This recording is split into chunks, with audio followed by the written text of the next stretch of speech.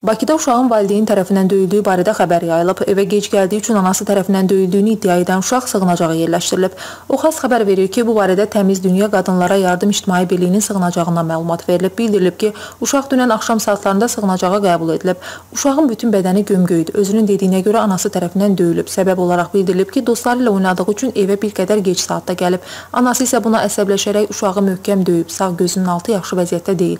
Uşaq bizə deyir ki, bu hadisə ilk dəfə yaşanmır. Dediyinə görə görə anası daha əvvəl də onu müxtəlif səbəblərdən dərslərdən aşağı qiymət aldığı üçün sözündən çıxdığı üçün möhkəm döyüb.